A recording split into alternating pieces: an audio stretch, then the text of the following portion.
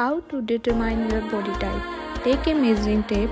Firstly, measure your bust area. Measure at the widest point. Measure your hips and then your waist.